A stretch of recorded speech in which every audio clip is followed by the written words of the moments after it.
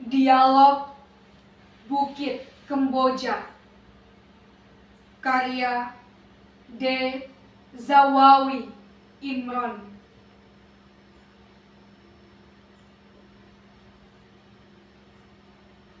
Inilah ziarah di tengah nisan-nisan tengadah di bukit serba Kemboja. Matahari dan langit lelah. Seorang nenek, pandangannya tua, memuat jarum cemburu menanyakan, mengapa aku berdoa di kubur itu? Aku anak almarhum. Jawabku dengan suara kelas jatuh. Pipi keriput itu menyimpan bekas sayatan waktu.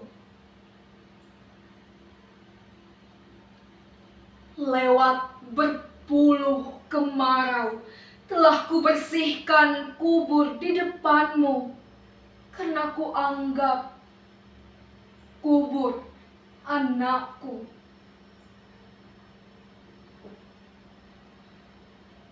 Hening merangkak lambat bagai langkah siput. Tanpa sebuah sebab, senyumnya lalu mereka seperti puisi mekar pada lembar bunga basah.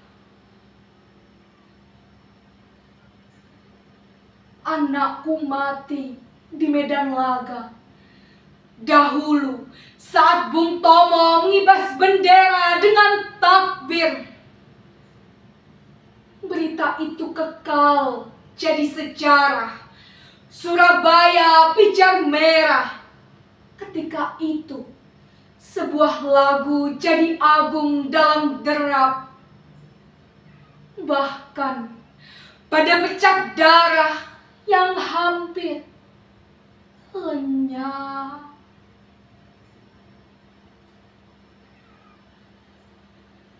Jauh di lembah membias rasa syukur pada hijau ladang sayur karena laut bebas debur.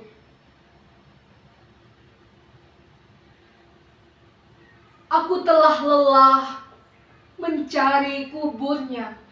Dari sana ke mana? Tak kutemu, tak ada yang tahu. Sedang aku ingin ziarah menyampaikan terima kasih atas gugurnya. Mati yang direnungkan melati. Kubur ini memadailah untuk mewakilinya tapi ayahku sepi pahlawan tutur orang terdekat saat ia wafat. Jasadnya hanya satu tingkat di atas nengat. Tapi ia tetap ayahku. Tapi ia bukan anakmu. Apa salahnya kalau sesekali kubur ayahmu kujadikan alamat rindu dengan ziarah oleh harum Kemboja yang berat gemuruh. Dendamku kepada musuh jadi luruh. Sore berangkat ke dalam remang, ke kelepak, kelelawar. Hormatku padamu, nenek, karena engkau menyimpan rahasia wangi tanahku. Tolong, beri aku apa saja, kata atau senjata. Aku orang tak bisa memberi. Padamu, bisaku cuma minta. Jika engkau bambu, Jadilah saja bambu runcing, jangan sembilu atau yang membungkuk depan sembilu. Kelam mendesak kami berpisah. Di hati tidak. Angin pun tiba dari tenggara. Daun-daun dan bunga ilalang memperdengarkan gemelan doa, memacu roh agar aku tak jijik menyekan nanah pada luka anak-anak desa di bawah.